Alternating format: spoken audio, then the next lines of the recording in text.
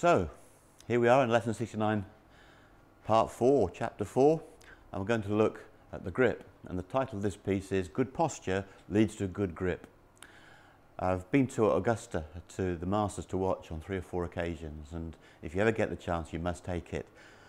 Whatever hype you've heard, however good I tell you it is, you won't be disappointed when you go. So it's got to be on your bucket list or your wish list. Got to go to Augusta. It's everything. It's the British Open, Wimbledon, FA Cup final, all mixed into one. And they have a wonderful protocol there where you have a little green chair, and at the start of the day, you go and put your green chair where you'd like to be at the end of the day. And you can wander off and watch play, and then later in the evening, as the players come through the back nine, if your chair's by 16, which I tend to do, then your little green chair is there and you can watch. What I did the second year that I went to Augusta, I went down to the seventh tee and I sat down my little chair, the rope is across my chest and literally the tee block is just there and it's quite surreal. For three hours, three of the world's greatest players would come into view, you'd hear them chat, I'd see them this close, 10, 15 feet away at most, I'd see them hit a shot and off they go. And for three hours, I watched all the great players come through. And what struck me as a teacher was that hardly any of the golfers that I saw had what you'd call a neutral grip. They had a strong grip with lots of knuckles showing and the V's would be pointing over here if that's what you like to think about. The only two people that gripped the club I would consider in a textbook sense was our own Rory McIlroy and then Tiger Woods. They had perfectly neutral grips. Someone like Mark Kuchar, his left hand was turned over that much, you know. If his grip was any stronger, he'd probably have to play left-handed. So you can appreciate if the world's best players have a strong grip, Dustin Johnson, world's number one pointing case, case in point, then you can tell that a strong grip is going to have an effect. So, never say never. There are always exceptions to prove the rule. But in the teaching industry, we like the grip to be relatively neutral or a touch strong. So, when I've placed the club down, I can only get my left thumb onto that club by tipping from the hip, as I said earlier. So I tip from the hip and lean forward, and there is my left thumb bone. So I've just drawn a little circle in the middle of my thumbnail, a little circle at the top of the thumb bone, and connected with a, a fairly straight line. So that's the way the good Lord made my left hand, okay? He didn't make me like this or like this. The left thumb is parallel. So by parallel, I do not mean on top of the shaft, it's right of centre. So I would consider this to be a perfectly neutral grip. And I'd be quite happy for all of you to grip the club a little bit stronger. It's not much movement, is it? There's perfect, there's a little bit strong. If I double it, I'm very strong.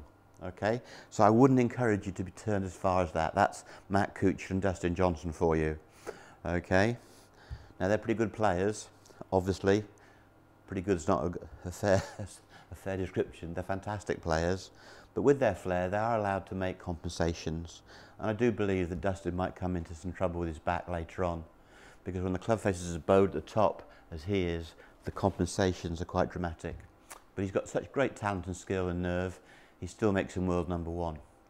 So I'm not criticising him, I'm just saying it's a characteristic.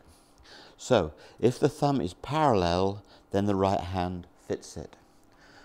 One of the things I like to do with people is get them to spin a pebble across the pond, metaphorically. So we, we get the golf ball and we spin it across this imaginary pond. So just imagine that. There's my index finger spinning the pebble, you see. I could not afford to have my finger above the equator of the ball or below.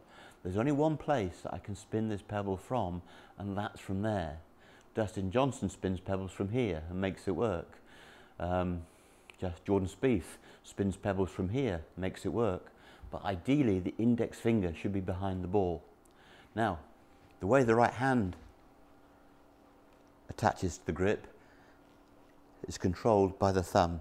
So I tip from the hip. The posture allows me to get the left thumb in line. And if the left thumb is in line, the right hand fits it.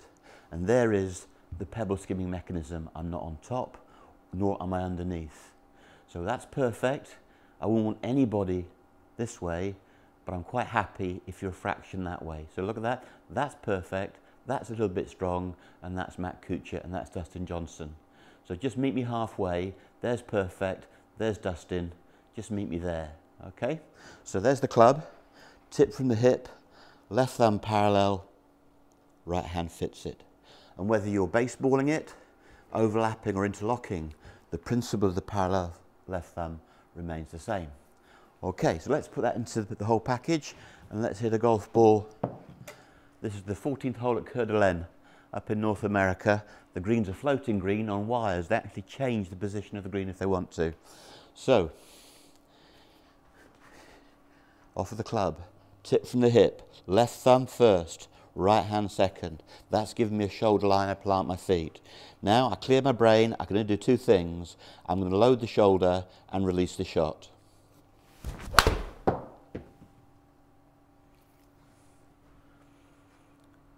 Quarter of a fraction thin, the two putts and walk to the next tee.